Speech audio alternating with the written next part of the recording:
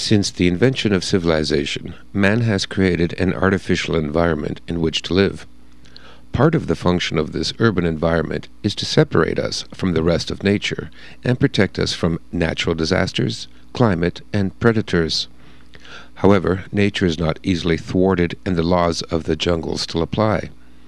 We may have escaped being eaten by a tiger, but the tiger has been replaced by other predators the robber, street gang, and rapist. Though cities offer some protection from the natural disasters of droughts and floods, we are now subject to new man made disasters of social upheaval, war, and tyranny.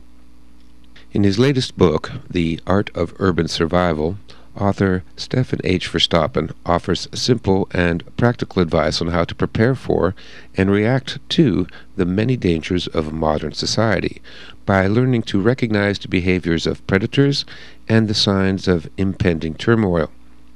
The author draws from psychology, anthropology, military strategy, martial arts, and wilderness survival to provide information on the full spectrum of urban survival skills.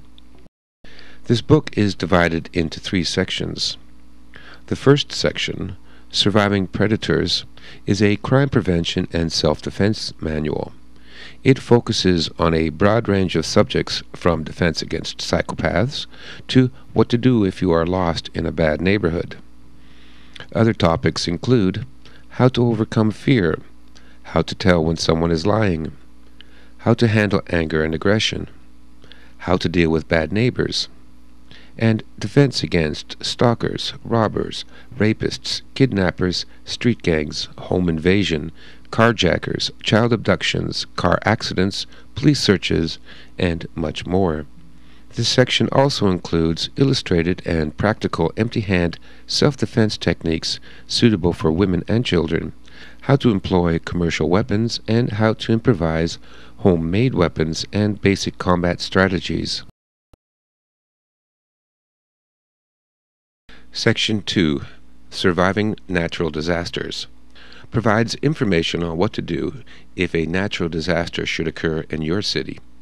Topics include how to create a disaster plan, how to assemble a home emergency kit, car emergency kit, three day survival kit, and even a pocket survival kit. This section also teaches you what to do if you are lost, how to organize a search and rescue team to search for lost family and friends, and how to read the urban search and rescue symbols marked on the sides of buildings searched after a natural disaster. Section 3, Surviving Social Disasters, covers the signs and dangers of when societies break down. Topics include what to do during blackouts, riots, martial law, widespread corruption, and war includes how to prepare for and what to do during biological, chemical, and nuclear events. The final chapter covers how to escape incarceration and evade recapture as a last resort.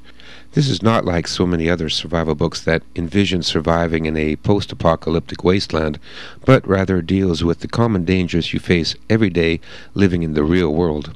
With increasing incidents of war, terrorism, crime, and economic depression, this book is a vital and timely addition to your home library.